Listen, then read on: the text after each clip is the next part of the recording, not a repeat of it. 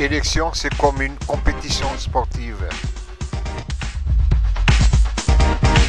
Ils étaient 36 au départ,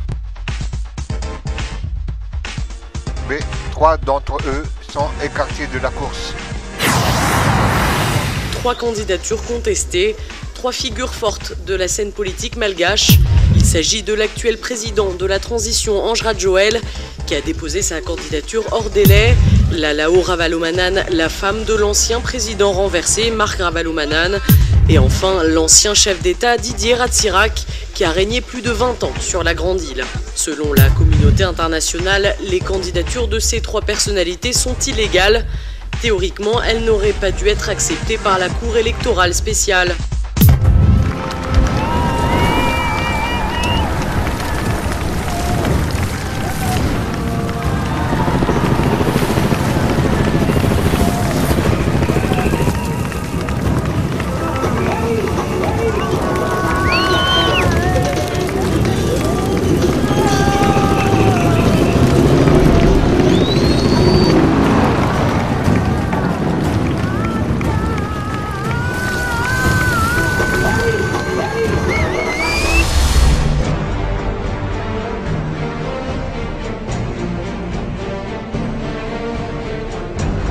Des élections pour sortir Madagascar de la crise. Quatre ans après le coup d'État, près de 8 millions d'électeurs se sont présentés aux urnes pour choisir un président parmi 33 candidats, pour la plupart peu connus.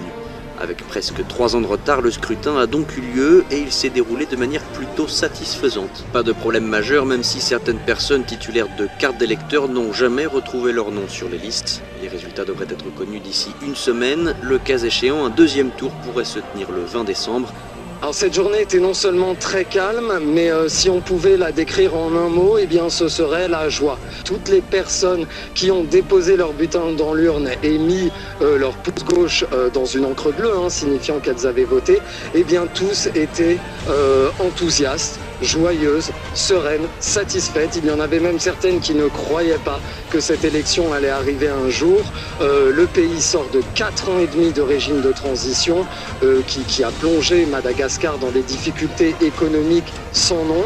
Et voilà, aujourd'hui, les gens étaient enfin contents, soulagés, enthousiastes, joyeux de pouvoir voter pour élire euh, leur futur président. Une élection pacifique, pas de troubles ni de fraude majeure comme dans certains pays. Les incidents survenus à ce jour, ce sont des personnes qui n'ont pas eu leur carte d'électeur. Certains ne sont pas inscrits et d'autres ni l'un ni l'autre.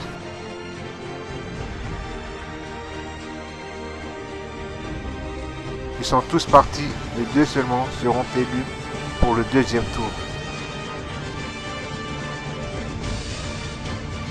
Sans surprise, les deux finalistes euh, sont Robinson Jean-Louis et Eri Razao Narimampian.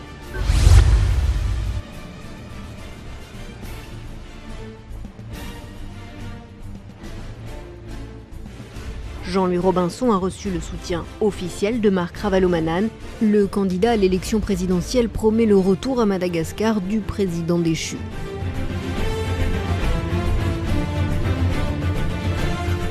L'autre grand favori de l'élection, connu à Madagascar sous le nom d'Eri, a lui aussi comme soutien un poids lourd de la politique. Il est largement perçu comme le poulain du président par intérim, Ange Razouel. Pour la Grande Île, un nouveau gouvernement démocratique est indispensable pour regagner l'accès à l'aide internationale, des fonds gelés depuis le coup d'État d'Ange Razouel en 2009, forçant Marc Ravalomanan à fuir le pays. À Madagascar, c'est une journée d'élection, élection législative et présidentielle. Elle concerne 8 millions d'électeurs appelés à départager les deux finalistes de la présidentielle, Robinson Jean-Louis et Eri Radjonar Mampian. Ancien ministre de la Santé, des Sports ou encore de la Culture, Robinson Jean-Louis est soutenu par Marc Ravalmanan. Ce médecin de 61 ans affronte l'ancien ministre des Finances, Eri Raja Narimampianine, soutenu lui par André. Soulagement à Madagascar puisque les élections présidentielles et législatives se sont apparemment bien passées, aucun incident majeur. Les tout premiers résultats très partiels sont publiés, mais le débrouillement ne fait que commencer. Le vainqueur de la présidentielle, Robinson Jean-Louis ou R. Radzo Narmampian. Hier soir, les deux candidats ont sabré le champagne dans leur QG, une situation choquante. Rappel à l'ordre des observateurs à Madagascar à l'intention des deux finalistes de la présidentielle.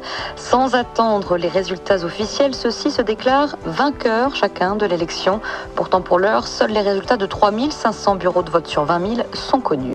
La commission électorale, les missions d'observation s'accordent et interpellent depuis la fin du vote vendredi les deux candidats pour qu'ils respectent les résultats et surtout les attendent dans le calme comme les 22 millions de malgaches. Robinson Jean-Louis a réaffirmé qu'il avait gagné malgré les fraudes. Avec les candidats qui se sont ralliés à nous, on gagne largement. Donc on a constaté plusieurs irrégularités, plusieurs euh, urnes ont été euh, bourrées par des bulletins précochés. Malgré tout cela, on gagne très largement. Et Radzon Armandpian, il rappelle lui aussi qu'il a gagné et critique son adversaire sur les soupçons de fraude. Je pense que ça, c'est le comportement ou les réactions de mauvais perdants. J'ai gagné. Je parle de tendance. Hein. C'est vrai, c'est pas officiel, mais euh, c'est sur la base de ces informations que je dis, j'ai pas de doute sur la, la victoire.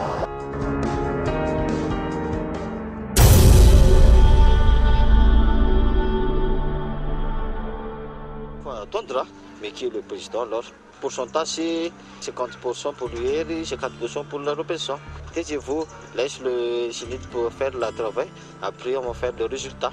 On attend les résultats.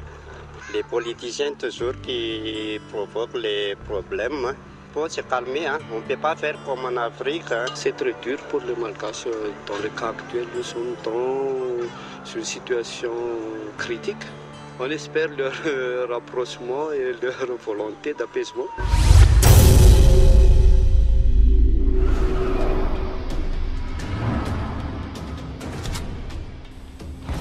La campagne fut âpre pour les deux candidats, mais la victoire se dessine maintenant pour Eri Radzonarimampian, même si les résultats ne sont que provisoires.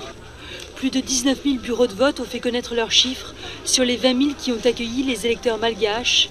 Et d'après la commission électorale, le candidat Eri recueille 53,3% des voix, loin devant Robinson Jean-Louis et ses 46,7%.